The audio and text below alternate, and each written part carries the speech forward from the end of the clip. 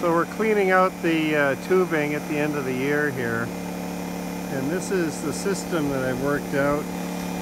I've got a 50 gallon tank full of Star San uh, sanitizer. And that's running down to uh, a transfer pump that's pump powered by this little generator. And then that hose runs out uh, to a hose fitting that I've got on the three-way valve. And so the three-way valve is feeding into that star system. And then what I'm doing is just going along each line and uh,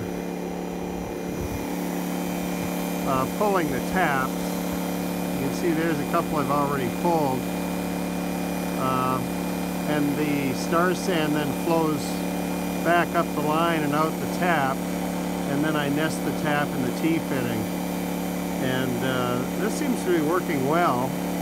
I've done the first line it only took me 20 minutes or so. I've got eight more to go. Because we had four feet of snow on the ground when we put in those taps you can see how far up the tree they are. Uh, so I brought along a little ladder and I've got this special tool that I made. It's just a uh, pry bar, but I ground out the end so that it fits around a tap and I can use that to pry the taps out of the tree. And if I crawl up the, the line here, or crawl up the ladder, you can see there's the tap, there's the pry bar,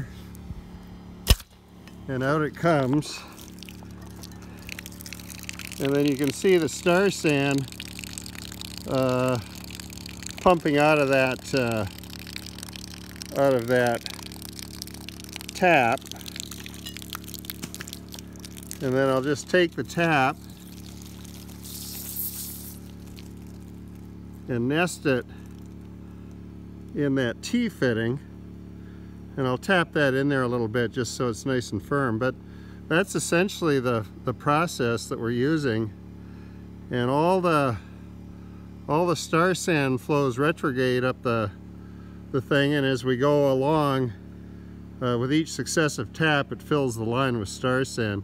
And then I think at the end I'm gonna open the end of each line and pump it all out using the vacuum pump. So this is working great